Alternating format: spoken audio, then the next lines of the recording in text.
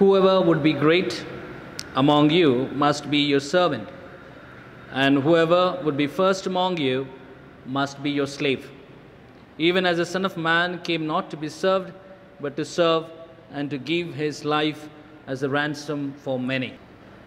Welcome to the 12th day of a journey from wilderness to Calvary. My dear brothers and sisters in Christ Jesus, there's a story said about a monk who decided to be quiet in silence for one year.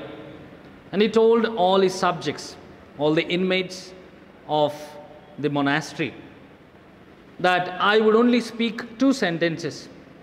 One sentence after six months, another sentence of after another six months. When the time arrived, all the inmates gathered around this monk, waiting what this monk is going to speak. What are the words that are going to come out from his mouth?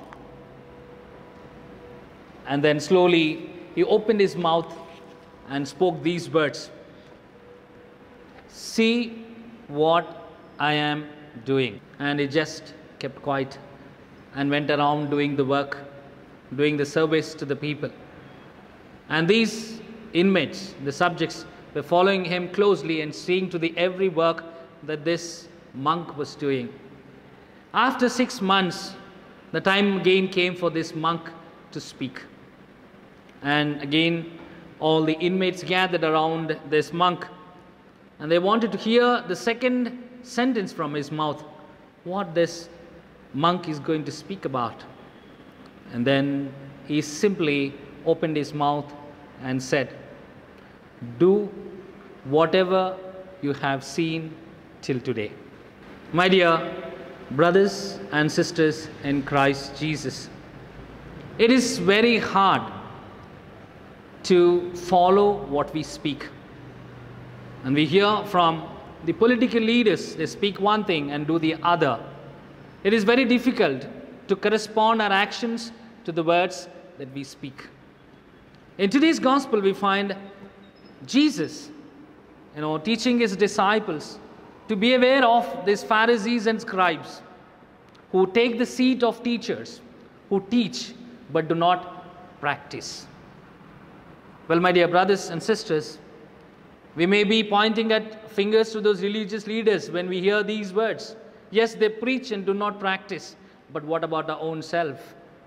How are we teachers who are taking the place of God? How are we taking the seat of Moses? These days, all the parents take the seat of the Moses or God because they are in the place of God teaching the children what to do, what not to do.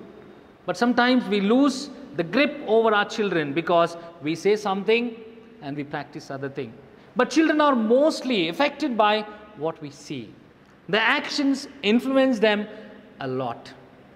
And not only these parents, teachers, and the spiritual leaders, or whoever take the leadership, leadership roles, all these people come under taking the seat of Moses. And that's why in the letter of James we read, many of you, not many of you should be teachers, because every word that you teach, every word that you pronounce will be judged by God. And accordingly, the punishment is reserved. My dear brothers and sisters, the second thing that we find Jesus pointing out at the Pharisees and scribes is that they are pious religious practices. They practice these religious pious, pious religious, uh, pious religious, uh, uh, religious pious activities by put showing them off to people by the way of dressing, by the way they walked into the streets. All these were pious practices, but there was not a spirit of religiosity in that. By walking and showing themselves to the people, in, in literally burdening the people with the ritual practices. Instead of getting people closer to God, they were distancing them, distancing them from God by burdening them with the ritual practices. My dear brothers and sisters, it is where Jesus tells the disciples. Beware of these Pharisees and scribes. They do not do, do not listen to them, but do listen to them, but do not practice or do not do the actions that they do because their actions are contrary to that.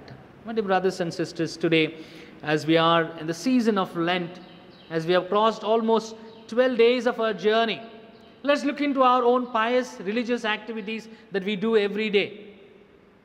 And sometimes we may do those pious religious activities, but there is no spirit of religiosity in the practices that we do. What do I mean by saying this? My brothers and sisters, you know, you may be practicing the pious deeds of this Lent, but you don't really mean to do that because you skip the services that you do to the people, the good that you're supposed to do to the people. The spirit of religiosity is completely dead. It's like the beautiful parable that Jesus told, to, uh, Jesus told in the Gospel of Matthew, chapter 21, where he speaks about the parable of two brothers. The elder one says, I will not go into the field. And he goes. And the younger one says, I will go. But he doesn't go. Well, my dear brothers and sisters, our actions too are like that. That we profess saying that my in the first day of your Lent, you take a decision of I will definitely do this, do this, and all. But we go contrary to that. There may be people who said, I won't follow Lent this year. I won't do any pious practices, but let me be good. And they do that. There's a lot of difference, my dear brothers and sisters. Even without doing pious practices, religious practices, you can really practice the spirit of religion. So let's just analyze our lives and see where do I stand. Within these 12 days, am I simply doing pious practices and not following the spirit of religiosity? Or am I just doing for the sake of doing it? If you like this piece of reflection, kindly share, comment, because your comments definitely encourage us and try to promote this channel by your little contribution. Thank you. God bless you. Have a wonderful day.